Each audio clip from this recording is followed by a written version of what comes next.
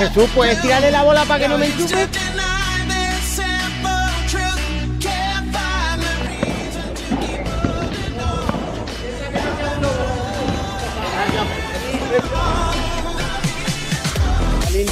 Chicos, ¿qué os ha parecido en red la pala?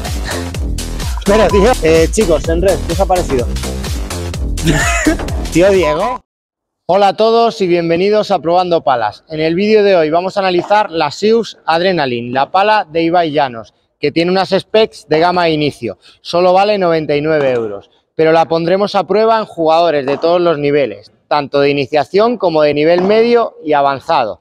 Y además vamos a ver cómo volear cortado en función de la altura de la bola. Quédate hasta el final porque si estás pensando en gastarte poco dinero en tu próxima pala, este vídeo te interesa. Dentro intro y comenzamos.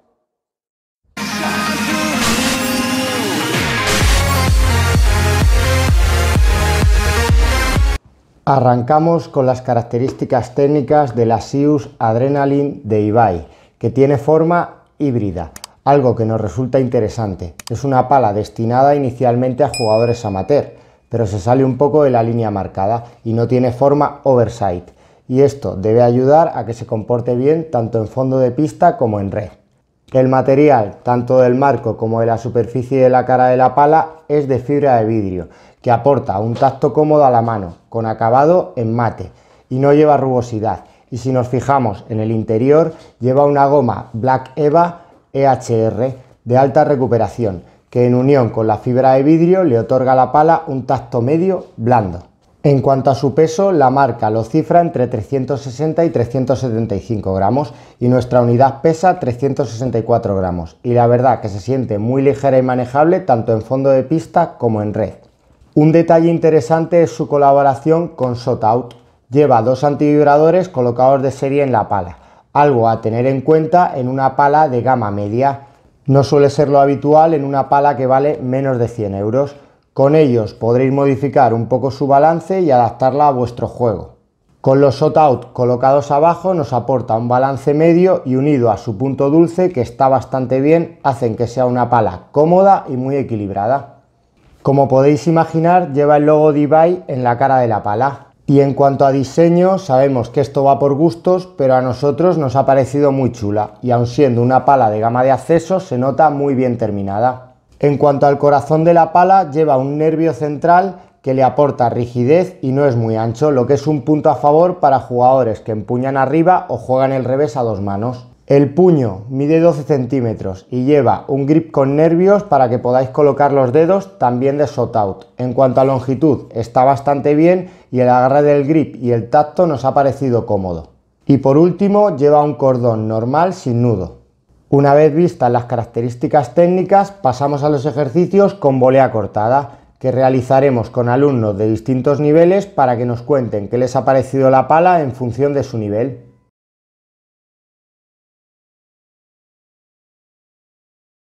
Para poder ejecutar una buena volea cortada debemos dividir el impacto de la bola en tres alturas. La zona baja que será por debajo de la cintura o de la cinta de la red, la zona intermedia que será entre nuestra cintura y el pecho y la zona alta que será desde el pecho hacia arriba. Vamos a comenzar con la altura media, en la que podremos jugar una volea cortada de control o de presión. Técnicamente debemos realizar un armado por delante del cuerpo con la punta de la pala arriba y el peso lo tendremos anclado sobre el pie derecho, los diestros. En el momento en el que vamos a buscar la bola, realizaremos la unidad de giro con la cintura y entraremos a la bola en línea descendente para poder imprimirle el efecto cortado. Es importante que transportemos el peso con nuestro pie izquierdo para darle profundidad y peso a nuestra bola. El primer ejercicio lo realizaremos con un grupo que lleva compitiendo un año y trabajaremos con el armado y la terminación de la volea en altura media utilizando el puntero que nos ayudará a atravesar bien la bola y a mejorar el punto de impacto.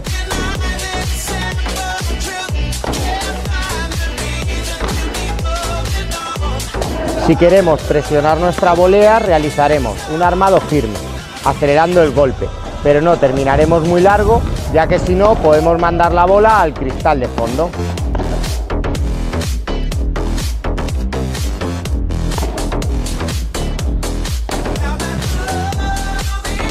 Y si buscamos que la bola se quede pegada al cristal, empuñaremos más blando y entraremos más lento a la bola, pero con una terminación suficientemente larga. Bueno, pues aquí estamos después de haber hecho los ejercicios con el grupo de Carlota, Mónica y Alejandra para que nos den un poco las impresiones de la Sius Adrenaline. Chicas, ¿qué os ha parecido la Sius de Ibai en red? ¿Qué os ha parecido? ¿Os ha gustado? ¿No? ¿Sí? A mí sí me ha gustado, sobre todo en el revés. ¿Vale? ¿Vosotras? A mí igual. A mí sí, pero me ha costado un poco adaptarme. Vale, en fondo de pista con el globo, ¿qué tal? Bien, y fondo de pista bien, en general bien. Para la zona alta intentaremos jugar una volea cortada de aceleración. Técnicamente debemos realizar un armado con la cara de la pala por encima del punto de impacto de la bola. Si necesitamos más recorrido para acelerar la bola, lo que haremos será levantar el codo un poquito hacia arriba. La aceleración la transmitiremos en un recorrido mucho más diagonal que en la primera volea, entrando desde arriba hacia adelante y hacia abajo. Pero debemos controlar tanto nuestra finalización como el transporte de peso con el tren inferior.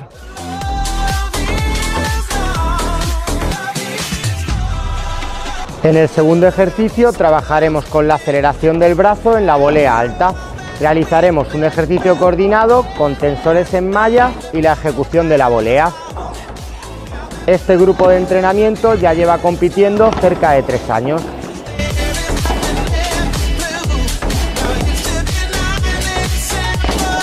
Podemos cambiar la tensión de nuestra goma para que el jugador tenga que hacer más esfuerzo y además nos servirá para limitar la terminación de la volea.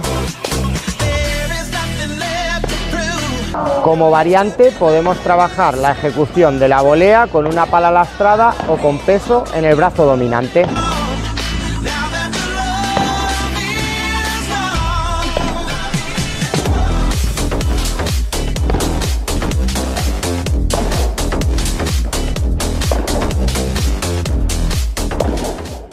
Una vez hecho el ejercicio, estamos aquí con Luismi para ver qué impresiones ha tenido de la Sius Adrenaline. Luismi, en red, ¿qué te ha parecido?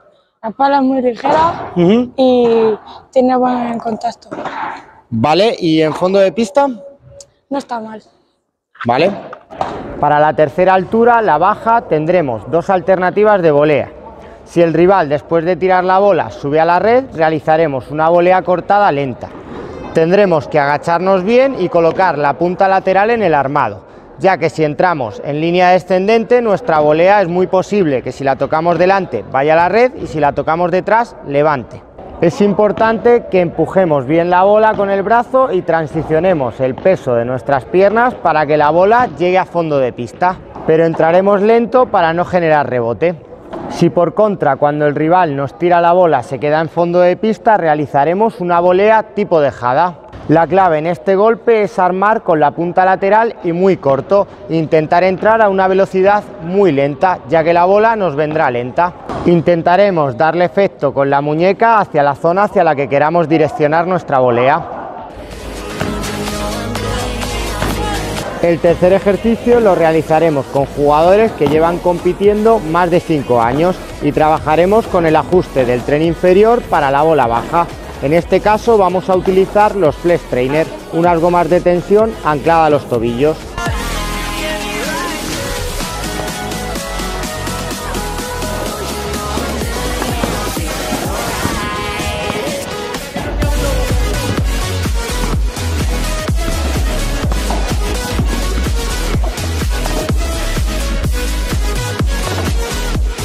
Como variante podemos colocar dos tobilleras en el pie de transición. De esta forma incidiremos en el empuje de la bola con el tren inferior para la volea hacia el centro de pista.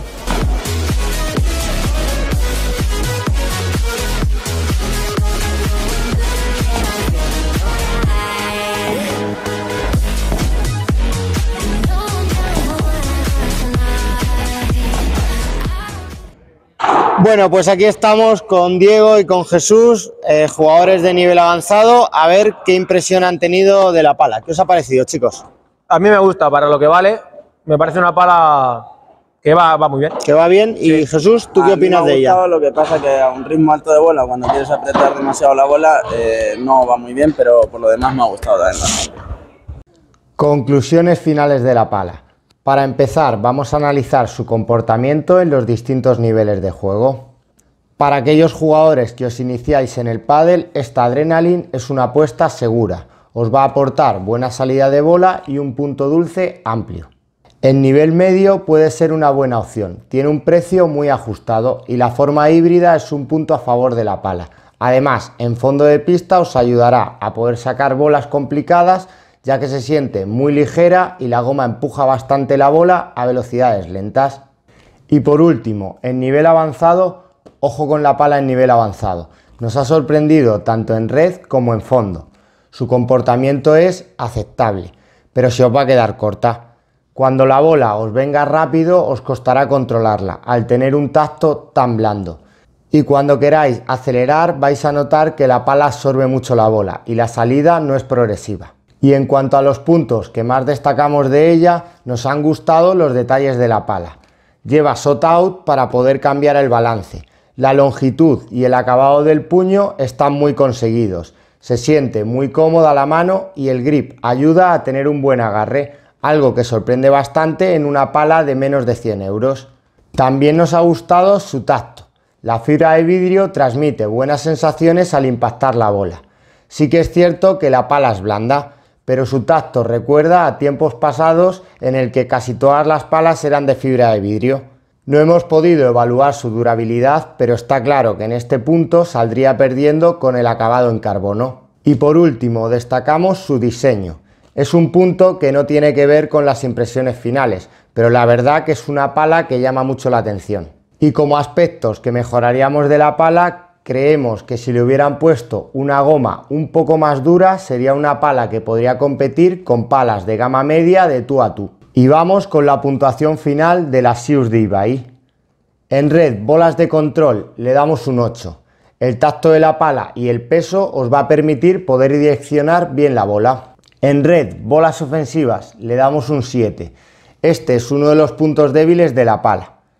Cuando queráis transmitirle aceleración a la bola, notaréis que esta sale menos en comparación de cuando golpeáis la bola sin acelerar el brazo. En fondo de pista le damos un 8,5. Es una pala muy manejable y su goma a velocidades lentas os ayudará a empujar las bolas complicadas. En punto dulce le damos un 8. Aun teniendo forma híbrida, el punto dulce se siente bastante grande.